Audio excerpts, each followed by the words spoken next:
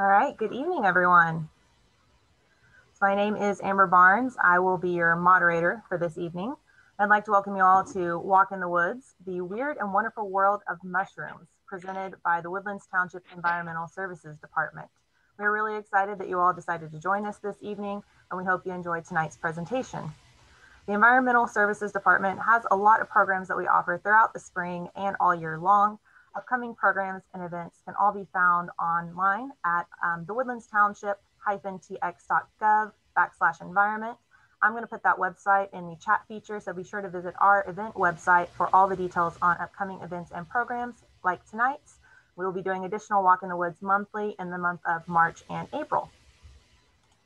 In addition to events and programs, this department is a resource for the community on recycling and solid waste services, mosquito surveillance, sustainable gardening, and water conservation.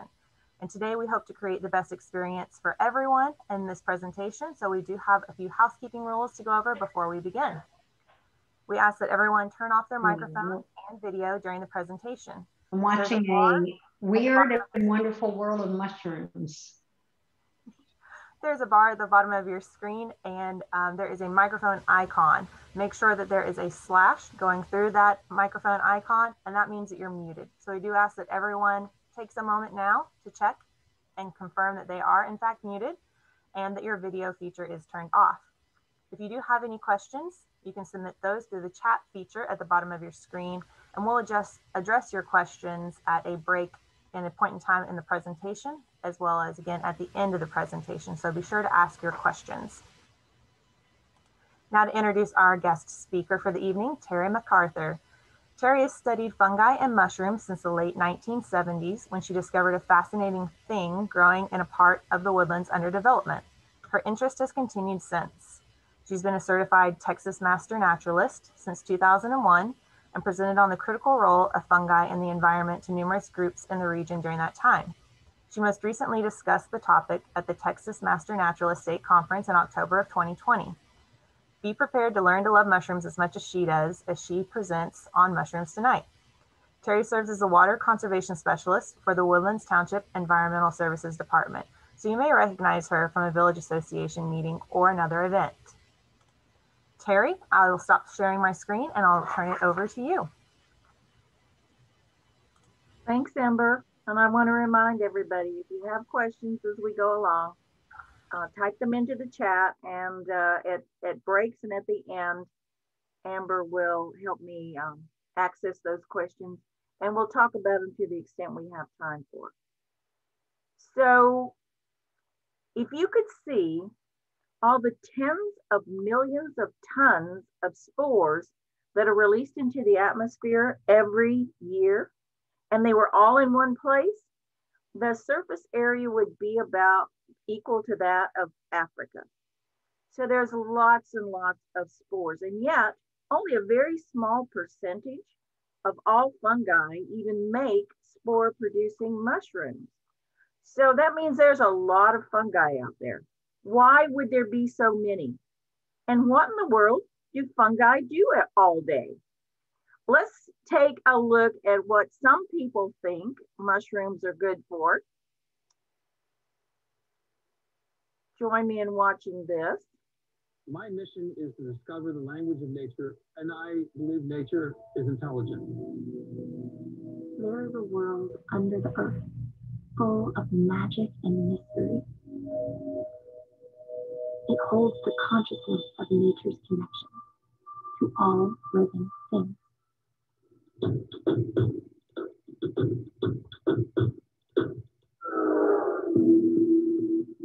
know, these mushrooms, they can heal you, they can feed you, they can kill you.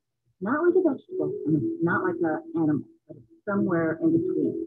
They support life, they convert life. You're walking through, about 200 miles of fungi under every footstep that you take, and that's all over the world. The bulk of the organism is growing underground, and it's composed of these long threads called a mycelium. Almost everyone knows about the computer internet the mycelium shares the same network design. It's amazing what we don't know about mushrooms. They really are a frontier of knowledge. You can filter water You can create medicinal compounds almost on demand. They have incredible capacity to make things change very quickly. So I am super hopeful. The psychedelic members of the mushroom kingdom are fascinating. I have been a guide for around 350 psilocybin sessions. The most glorious part was that it made me feel more comfortable with living because you're not afraid of dying. We need to have a paradigm shift in our consciousness. What will it take to achieve that? We can heal the planet. We can build the future. And our world is fantastic.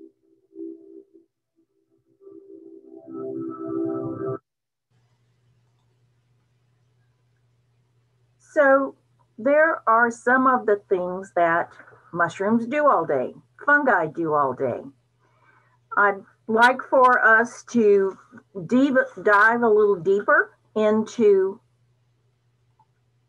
mushrooms. I there we go into mushrooms. And so we're going to start out by talking about some of the basics. Um, some of you already know this, especially some of you have been on mushroom walks with me before. But mushrooms are super important because they decompose matter that's in the soil and on the soil in our forest. Forest systems would completely collapse without fungi eh, because there'd be so much dead wood on the forest floor that nothing new could grow. And, and why would that be? What's in wood that makes it so hard? Wait a minute, I think I hear Ethan calling out the answer. He's saying it's lignin, and he's right. Lignin is what's in wood, and hardly anything can decompose lignin except, yes, fungi. Another way they uh, help with forest health is by forming soil networks. The fungi connect with other fungi, with plants, with trees, and nutrients that the decomposing fungi make available in the soil then get moved around by means of that network within the soil. So there's a lot about fungi more than just mushrooms, but everyone wants to know about mushrooms.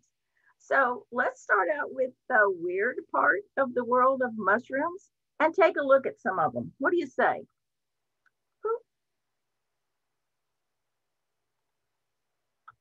There we go. Uh, last Saturday, a small group joined me down at the Recreation Center at Rob Fleming Park, and we looked for mushrooms. This is one that uh, my friend Ethan found. And I want to show it to you in this format uh, to help you understand some of the reasons why it's hard to identify mushrooms when you send me a single photo. Um, it's important to know that where it's growing matters. In this one, you can see that there's some bare soil, there's some leaf litter, and this is growing in a clump, a small clump of mushrooms. Um, this bottom center photo is a, a view of the gill side. And if you can see it, the gills are not all the same length. And an interesting uh, thing about this particular mushroom to note is that the gills start out here at the edge of the cap and run in toward the stem. But in point of fact, if you'll look, you can see that those gills don't actually touch the, the stem. And that's important to help us with identification. One of the things we most need to know to help identify mushrooms that we find is the color of the spores. Well, the spores are microscopic, so how are we going to know what color those spores are? And the photo at the top right illustrates one way to find that out. You can see from the photo that uh, they cut the stem off and they put the mushroom cap gill side down on some paper. In fact, they layered some colored paper over some lighter paper so that no matter whether the gill, the spores from the gills were light or dark when they fell, you'd be able to see them. And in this case, it may be hard to tell on your screen, I don't know, but the color of the spores en masse as they uh, fell from those gills turned out to be a dark salmon pink color. So this particular mushroom with these features and more, including a view from the top of the cap that doesn't show here, helps us know that uh, this particular mushroom is an Entoloma. It's probably strictius, And it's um, one of many interesting and weird fungi in our local area. This is Amanita muscaria. Um, Amber will be putting the names of some of the mushrooms into the chat box in case you want to know how to spell them as we go along. This one is a psychoactive mushroom. A lot of people think that it is poisonous, and it can be if you consume too much. Uh, it's a great decomposer in our forests, but it also forms those fungal networks that we heard about in that video clip. In Texas, we find Amanita most often associated with oaks and some of our nut trees like hickories, um, as well as pine trees. This is kind of a common mushroom in our area. If the weather is warm and a little moist, um, we could see these anytime from spring through fall. This beautiful mushroom is in the bracket fungi family. Instead of gills on the bottom, as we saw in that very first one we looked at, this one has tiny tube-like openings on the bottom and they're called pores. And inside those tubes are where the spores stay until they are ripe and dry and ready to disperse. Um, wind carries them, water carries them, even animals carry them. This one is probably Trametes versicolor. Uh, it's another wonderful decomposing mushroom in our local forest. And we find it as pictured here on down wood in our mixed hardwood forest. This is kind of an interesting looking one. And as Amber told you, I saw a something growing as the woodlands was being developed. And this is what I saw. It is the columned stinkhorn. And yes, it really smells bad. It is Clathrus columnata. Its scheme for um, moving its spores around is this sticky and stinky mass that it creates inside that holds the spores flies are attracted to it because they think that smell is from rotting flesh, and that's kind of what it smells like. They come and land thinking they're going to get a meal, and they get this this mass on their feet, on their bodies. They fly away, and the next place they land, they leave the spores there. So it's another terrific decomposer in our forests, and if you keep your eyes open for it, you might see it. This one was photographed just uh, about a week ago.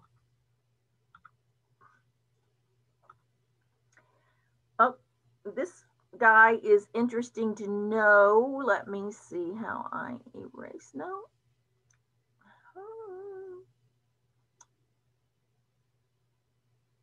Okay, I'm not sure how to get rid of those. Sorry.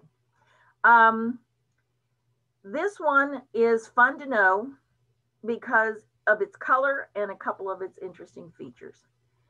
It's that bright orange pumpkin looking uh, color. It grows in clumps as you see in this slide. If you find it, don't eat it because it's toxic but you could collect a couple of specimens, preferably in a paper bag or a wax paper bag. Never collect mushrooms in plastic. It causes them to start breaking down very quickly. But um, take them home, take a couple of them home, go into a dark closet and close the door, wait a few minutes for your eyes to adjust to the dark. And then when you open your paper bag with these inside, if they are in fact the correct mushroom, they'll be glowing green.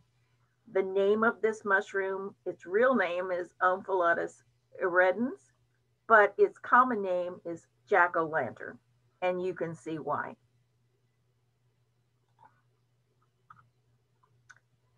This one is um, in the family of local fungi that we see a lot uh, called Ganoderma. It's another polypore, like the turkey tail, the Trametes we saw earlier. It has pores on the bottom rather than gills.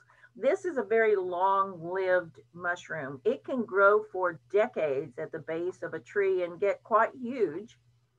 And what's interesting about it is that in Asia, it's considered uh, highly prized for its medicinal value. It has properties that are antibiotic, antioxidant, anti-inflammatory, antifungal. It has some regenerative benefits. It's too hard and woody to eat, so it's often ground into a powder form and then uh, steeped in the form of a tea to drink. Here in the West, we have finally begun to uh, put some value on this mushroom, which um, in Japan, it's called reishi, and that's how you will most often see it labeled on supplements that you can now find in health food stores and vitamin shops. So um, it has great medicinal value and health benefits. And here's the last one to show right now. It's Lactarius indigo. And yes, it really is that blue when it's fresh and young. It's um, a really great edible, one of my favorites. And when you cook it, the cap, the gills, the stem all stay that blue color. How many blue foods do we get to eat? So it's a lot of fun. And this one is another of the important networking fungi that, form in the soil and connect to other fungi, connect to trees and plants, and help move nutrients around. And so this next slide I'm going to show you was, oops, sorry, was actually a leaf that's partially decomposed that we found last Saturday out in our mushroom walk. Uh, one of the guys picked it up. Uh, it was in direct contact with the soil. So um, one of the soil fungi had already started growing its hyphae onto this leaf to decompose it. And it's a great way for you to have a visual hint of how those soil networks might look if you could see them. So I loved this photo. I, you know, I was so thrilled that we found this while we were out there. So we're kind of done with the weird part of fungi now. Uh, we've seen these strange looking things that we can find right in our own local forest. So before we move on to the wonderful part, are there any questions, Amber? We do have a few questions, Teri. Okay. The first question, someone asked, um, why does the jack-o'-lantern mushroom glow? Uh, as with other organisms on Earth, it's uh, bioluminescent.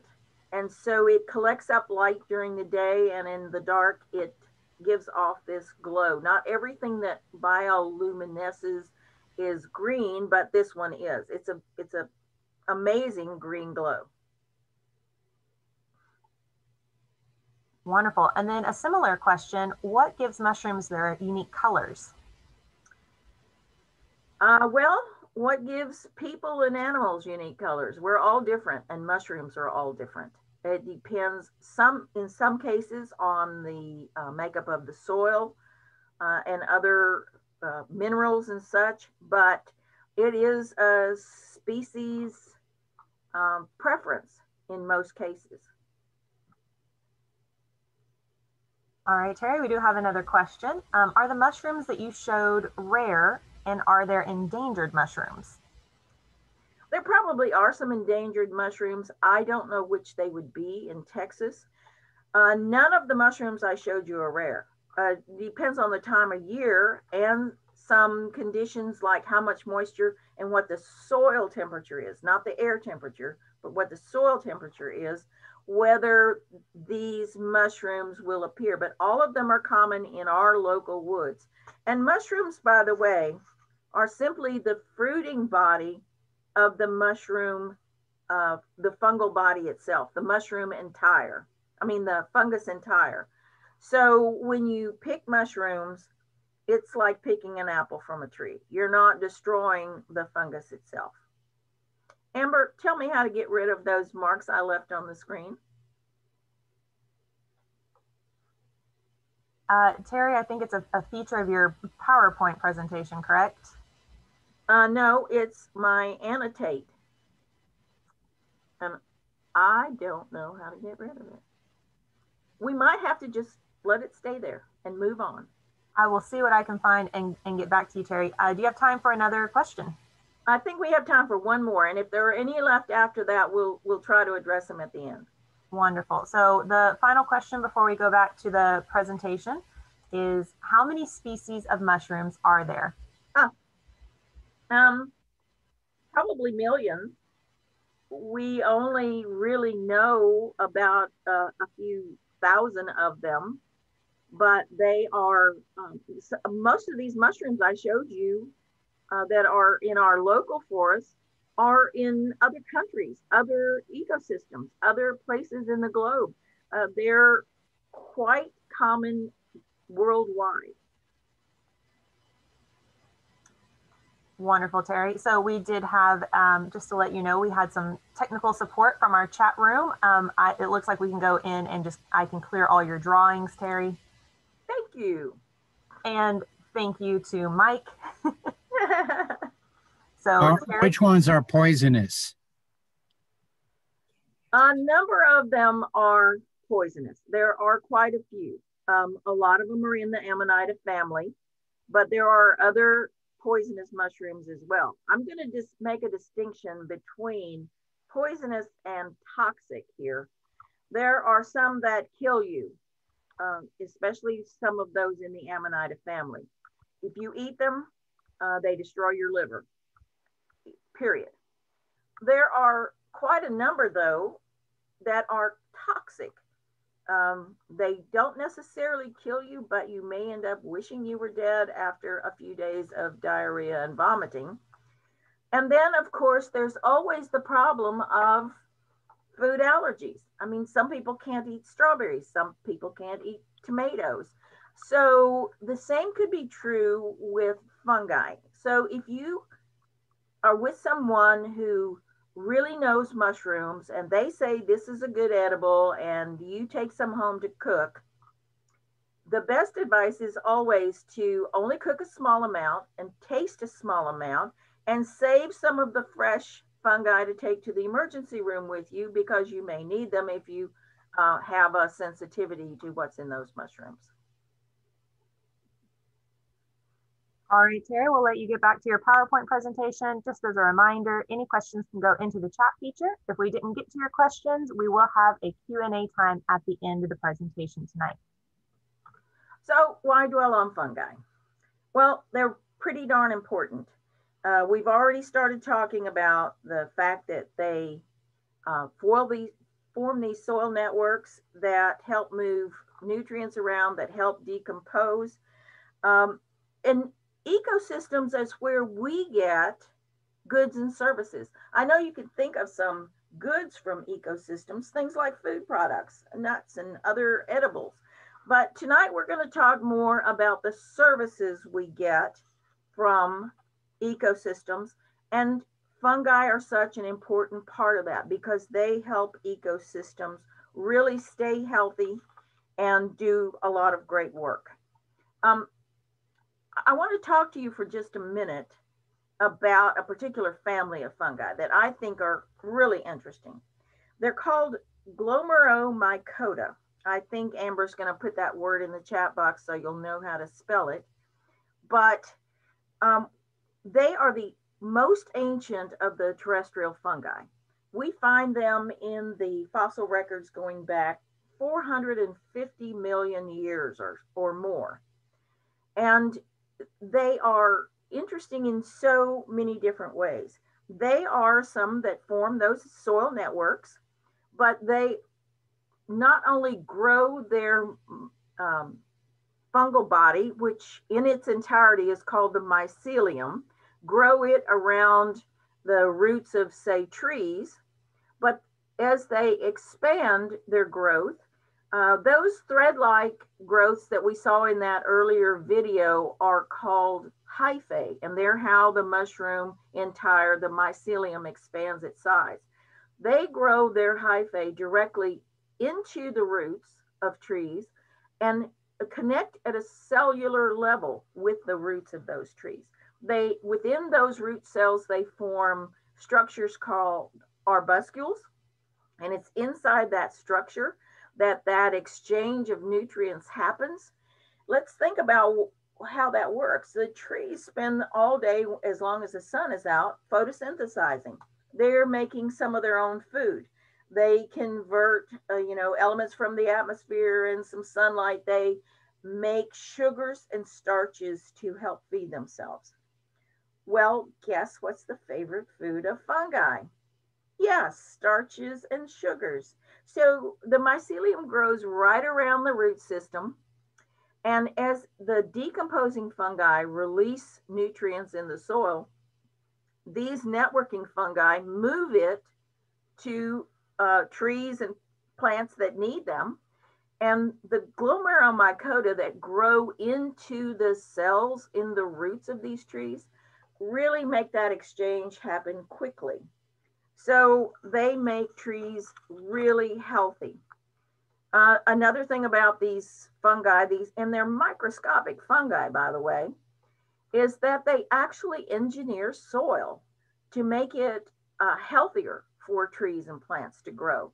The hyphae, as they grow out, are covered with a sticky substance called glomalin. And the term is that they cause soil particles, bits of soil particles to glom together.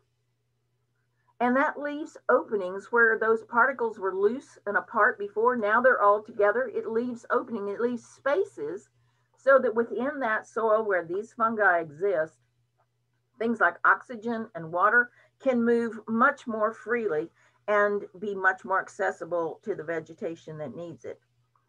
And you know, I don't think there's anybody you talk to these days who isn't concerned with excess carbon in the atmosphere. Well, here's one more interesting thing about the Glomerulomycota family of fungi. They all form symbiotic relationships with vegetation. And because that intimate symbiotic relationship is at the cellular level, they have the ability to pull up to 70% of the carbon that the tree brings in from the atmosphere directly into the fungal body. And once it's there, it's in the soil, it's trapped in the soil more or less permanently.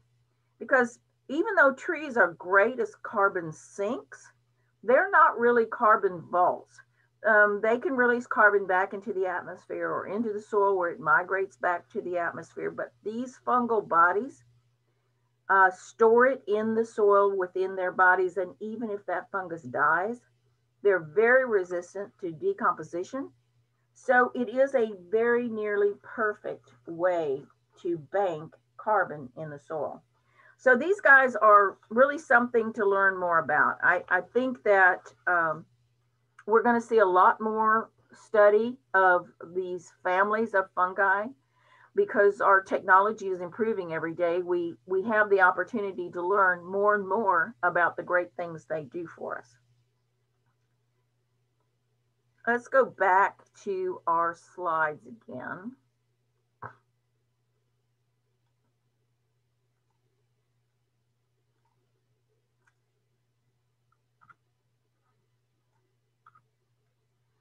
So here are some things to know. We've talked about most of these already. I usually ask the audience at this point, what do you know about fungi? Uh, some of the answers I typically get are that they're good to eat, and they are, or they can kill you, and they can. You know, one of the things I wonder about though is, as we mentioned earlier and is uh, repeated here on this slide, fungi are in the fossil records from hundreds of millions of years ago way before humans came on the scene. So why would they be able to kill us? They didn't have those adaptations to, to warn us away. So that's something to think about. Some people comment that there are parasitic fungi, and there are. There are fungi that, if they end up in a relationship with one of your trees or plants, can make it less healthy or even kill it. But the beauty of fungi that uh, we've already been talking about, remember I they were also antifungal. These mushrooms that form these networks can even prevent the bad guys from getting a toehold on your tree or plant. So there are good guys and there are bad guys, as in all kinds of organisms. And then I never fail to hear that there are magic mushrooms. Well, as you saw in that earlier video clip, there is quite a lot of work being done with psychoactive mushrooms. They're finding that it's very helpful with PTSD patients, with folks with end of life anxiety, uh, especially terminal cancer patients, some other forms of depression and anxiety. So I think, again, as our technology improves, we're going to see more and more about using micro doses of psychoactive um, mushroom components to help treat those things. M- mushrooms are very, um, fungi are very adaptable as they grow their hyphae through the soil to network. Those hyphae are where all the hard work is done. Uh, they are what comes in contact with things in the soil, minerals, um, dead insects, uh, decomposing leaves, and they have this entire suite of enzymes at their disposal that they mix and match depending on what it is they come in contact with. They call up the enzymes, they effectively break down whatever it is, decompose it. In effect, they liquefy it, absorb it into the, the hyphae, and then they can shuttle it off through the network to a tree or a plant that needs those nutrients that they just acquired. And yes, they can be predatory. There are some families of fungi that use attractants of some sort, pheromones, hormones, some kind of chemical that they release into the soil. And it especially is to attract um, soil insects and other invertebrates in the soil, nematodes and such, that it calls out to them and says, hey, lunch is over here, come and take a bite. So those those soil organisms go and start to munch their lunch on this fungus. Well, the chemicals that are in it kill those insects, for example. The hyphae break it down, use their enzymes, absorb in the nutrients they want, go to the nearest tree partner they have, and the fungus says, Hey, tree, I've got some nitrogen. You want it? The tree says, Yeah, man. And here, I've got some excess carbs and sugars. You want it? And they exchange nutrients. So yes, there can be predatory fungi. Um, these, these predatory fungi especially, and all of those that are insect pathogenic are called Metarhizium fungi. So I've asked Amber to include that word too in case you want to do any additional research on it let's talk a little bit about this word that uh, we haven't really uh, uh, talked about yet. We've talked about networking fungi, but they are called mycorrhizal. Now they're, they're the ones who form the networks. And there are seven main groups of mycorrhizal fungi, but I, I want to mention some of the interesting facts about just two of them. Uh, the first are called endomycorrhizal, those are the ones like the um, glomeromycota I mentioned that grow within the vegetation and connect, connect with it at a cellular level. As you can imagine, because that transference of uh, nutrients happens at such a rapid pace that um, decomposition is also speeded up to supply those nutrients. So in forests where the dominant trees associate more with endomycorrhizal fungi, what you find is thinner layers of leaf litter, thinner soils, uh, lower pH levels, but really high diversity of vegetation. because these guys are really party animals. I mean, they, you know, as long as you have some sugar and starches to share, they are willing to bring you into the network and share the, the nutrients they're pulling from the soil with you. What that means is on the downside, they're willing to let non-natives come into the forest with them in even those things that are invasive. So invasive species can be a bit more of a problem in those kinds of forests. The dominant trees in endomycorrhizal um, forests are maples and elms and ash trees. And uh, the most commonly seen invasives would be things like uh, Asian climbing roses or Japanese honeysuckle or garlic mustard. The other kind of um, mycorrhizal fungi I want to mention here for a minute are the ectomycorrhizal. Now those are like the Amanita and the Lactarius that I told you earlier when we were looking at the weird fungi uh, are also networking um, in the soil. They grow their mycelium around the root system, but they don't actually penetrate into the cellular level. So the exchanges, while they're facilitating uh, more nutrients of availability to the trees, it's a much slower process. And so in those forests, uh, you see he heavier layers of leaf litter, you see thicker uh, soils, higher pH, and a much lower diversity of trees and plants. These guys are more specialists where the endomycorrhizal fungi are more generalist. These guys don't like strangers to show up and try to join their, their party. So if you're not an offspring of one of the trees that's already in those forests, or at least the same species as are in those forests, then you're going to have a much harder time getting a toehold. And that means it reduces not just non-native species from joining in, not just invasives from joining in, but it's even harder for other native trees that aren't already present to get a, a toehold there. Those uh, dominant trees in these kind of forests are oaks, um, trees in the pecan family, um, walnuts, hickories, and pecans, as well as pine trees. So the difference is in how the interactions between the fungi and the vegetation goes. I, I don't know. I, I'm fascinated by everything we're learning as our technology improves. So I, I encourage you, if you want to know more, to um, consider doing some study. I'm going to recommend a couple of books toward the end. But for now, let's figure out what fungi are. Are they plants? Well, carbon is the basis for life on Earth and especially for trees and plants. It's how trees communicate with each other. But the only way that happens is for those fungal networks to form and have that carbon within those fungal bodies so that the trees can initiate that conversation, that communication with others of their species. There's some work that indicates, I noticed Suzanne Simard was in that earlier video clip.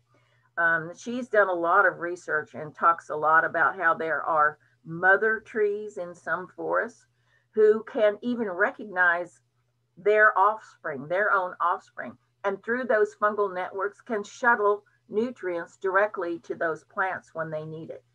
It's amazing stuff. It's really wonderful stuff. A couple of things about of plants to notice here. They store their energy in starch. Uh, their cell walls have cellulose. But what about animals? Are fungi animals? About 30% of our DNA contains elements that are in the DNA of fungi. Animals, including humans, are much more closely related to fungi than fungi are to plants. So a couple of things here about animals. They store their energy in glycogen and their membranes contain cholesterol. So what's unique about fungi? They don't have chlorophyll. So to get the food they need, those starches, those sugars, they absolutely have to have those networking capabilities to interact with trees and other green vegetation to get to that uh, product that those plants are making all day. Um, if you'll notice, fungi also store their energy in glycogen molecules as animals do. And while their cell walls contain cellulose like plants, they also contain chitin. And what do we know about chitin? I know some of you who have been on nature walks with me before have heard this conversation. Linda, was that you that said chitin is what makes up the exoskeletons of insects? Yes, that's right. So that's a pretty hard material. And what that means for those of us who love to eat fungi, eat, love to eat mushrooms, if we eat them raw, all the nutritional value passes right through our gut because we do not have the enzymes to break down that chitin. So, if you want to eat mushrooms and get all the nutrition available, cook them first. The heat breaks down the chitin and makes all those nutrients available. And one last thing here the membranes of fungi contain ergosterol. That's a steroid alcohol that converts to vitamin D when you expose it to sunlight. If you really want to get full bang for your buck when you're eating mushrooms, set them out in the sun for a couple of hours to a day. You can boost that vitamin D level quadruple the amount of vitamin D. And when you cook those mushrooms later to eat, it doesn't affect the level of vitamin D that are in it. So they're pretty darn interesting and valuable to us and to the rest of the world to make ecosystems function well. But here's the problem. We don't put a dollar value on the work that fungi do. We don't even put dollar value on the services we get from the ecosystems where fungi are helping them function and have those interactions. Maybe it's time knowing more and learning more every day from new technology. Maybe it's time for us to not be so complacent about the negative impacts we're having on ecosystems and especially on fungi and try to make some behavior changes that might help conserve the work they do. And, and how can we do that? Well, right in our own residential landscapes, we have options. For one thing, how about stop using chemicals on your grass, on your yard, on your landscape, on your plants? A couple of bad things happen when you use those chemicals. Number one, you create a hostile environment for pollinators and other beneficial insects. And yes, you really do want insects in your landscape. Another thing that happens is it makes your plants and your grass lazy. If you're putting the nutrients right there on top of the soil, what incentive do they have to grow their roots deep down and to find the nutrients that are available in the soil? So with shallow rooted plants, shallow rooted grass, they're far less healthy. Come springtime, you know, you immediately have to start using other chemicals to fight off insects and diseases in your lawn. So instead of that, perhaps get a soil test done, find out whether you really need to add nutrients, but consider using some of the biological inoculants that are available out there, especially those that contain mycorrhizal fungi. Sprinkle a little bit of those granules in your in your landscape, water it in. The fungi begin to grow, those networks begin to form. Your plants and grass grow their roots deeper. Everybody gets healthier, and it's a good thing. E.O. Wilson said the 21st century is destined to be known as the century of the environment. You know, we're 20 years in, and I'm not seeing a whole lot of environmental improvement uh, globally. So maybe it's time for us to make some of these behavior changes, find some ways that we can help our fungal partners in ecosystems get healthier and uh, service better than they already do. I mean, if we're not willing to take some steps now, instead of E.O. Wilson's words, we may end up in the words of those other sages, the rock group called Seether. In one of their songs, they say, I am prepared now that everything's going to be fine. One day too late. And that is not where we want to end up. So, for those of you who have asked about books I use, our local Bible is the Field Guide to Texas Mushrooms. It's a couple of decades old. It's by Susan and Van Metzler. Um, it's really our local common mushrooms, uh, how to ID them, information about them. There is a newer book. It came out last year. It's called Mushrooms of the Gulf Coast. Alan and Arleen Bessette uh, collaborated with our our local big thicket mushroom expert David Lewis to put out this book. It is a terrific book. Fair warning, the, the fungi in it, the mushrooms in it are listed in alphabetical order by scientific name. Well, I don't know all the scientific names of mushrooms, so I usually start with the Metzler's book because mushrooms are grouped in families in that book and I find the one that I need to know more about. Then I go to the new book because it has it does have some updated material and some additional things about the mushrooms that are helpful to know. Another book that I use frequently is David Arora's Mushrooms Demystified. It's a large book. It's a lot of conversation about what mushrooms do all day. So it's more than just an ID guide. Um, note for this book is that uh, he's based on the West Coast. So there are quite a lot of mushrooms in the book that we will not see here. But if you want to learn about mushrooms, it's it's it's great. And then that video clip we saw earlier is from a movie called Fantastic Fungi. It's available on YouTube to buy or to rent. It's not free. But this is its companion book called also Fantastic Fungi. It has the most amazing photo photographs by um, Louis Schwartzberg. If you're not familiar with him, if you have uh, Netflix and you go on there and do a search for moving art, he has some little short videos. They're 25, 30 minutes, but it's the most marvelous nature photography you'll ever see virtually no spoken words, a little bit of background music, but uh, in the evening, it's terrific to relax for 25, 30 minutes watching one of Schwartzberg's moving art videos. Um, he has the photographs in this book. The book is a compilation of essays by quite a prominent group of mushroom writers. So um, I might suggest you would look for it.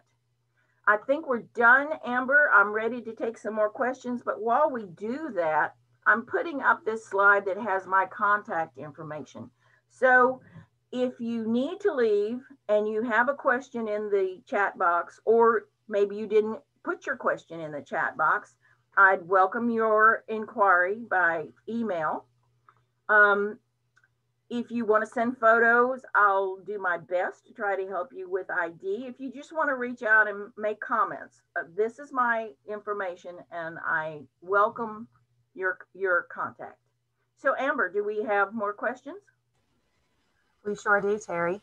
Um, you just uh, first addressed the um, opportunity for people to email you photos. Um, I'm curious, before we dive into the questions, would you recommend the um, iNaturalist app to help with mushroom identification? I definitely would. Um, I don't think as many people use iNaturalist for mushroom ID as could or should. It's you know it's a terrific application. There are some others as well uh, that I've seen. Uh, so you know if you if you're not crazy about iNaturalist, go to one of the app stores and look for some of the other. Um, um, some of them have the second word in the name is snap, like tree snap and flower snap and things like that. Others are uh, photo picture something. I don't remember. But anyway, there's lots of apps, but iNaturalist is a terrific one to use. Agreed. All right, Teri. Well, that was a wonderful presentation. I think everyone learned quite a bit and are probably excited to go out wandering along the pathways or even in their own yard but we do have a few questions, so I will dive into those with you. The first question that we have, um, someone was asking if you have any suggestions for engaging in local fungi discovery. Um, so there used to be a Houston-based mushroom club, but it it fell apart a few years back. Um, you know, aging members. Um, David Lewis is over in the Big Thicket area, and there is a, a mushroom organization there that uh, goes out and looks for mushrooms. But if you're interested in something a little more casual, if you'll send me an email and tell me your your interest uh, from time to time, um, as I as we did last Saturday, a small group of us go out together to hunt for mushrooms, see what we can find. Um, on dry days when we can't find mushrooms, it turns into more of a nature walk. But uh, last Saturday, we found quite a few interesting mushrooms. Uh, it, uh, most of them were in the polypore family, but that Entoloma I showed you, that I showed you the spore print, um, that was one that we found last Saturday.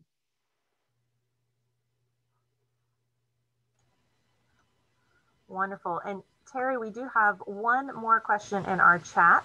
Um, in regard to the um, the chitin and the cellulose, do mushrooms have these in their structures just like in the walls of plants? So yeah, it's the it's the um, it's the cell coverings. Um, cellulose is what's in the cell walls in uh, plants, and it's also in mushrooms, but mushrooms have the chitin as part of their cell walls. And that's what, and of course, that's where all the nutrients are stored. And that's why it's so important to cook the mushrooms. It's because otherwise that chitin does not break down in our guts when we eat mushrooms.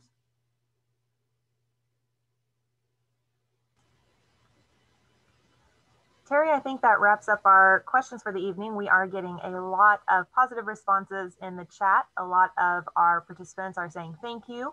Um, even some comments stating that they will never look at mushrooms the same again and they can't wait to go out and do some discovery of their own. So I think um, you really uh, brought attention to something that a lot of people were interested in and gave us a wonderful presentation this evening. Well, if you'll send me a note, if you're interested, uh, next time we schedule a mushroom walk, I'll reach out to, to you. Thank you for joining me tonight. I enjoyed it. I wish we could have been in person, but maybe I'll see you out there on the nature trail. Good night, everybody. Thank you, everyone, and have a good evening.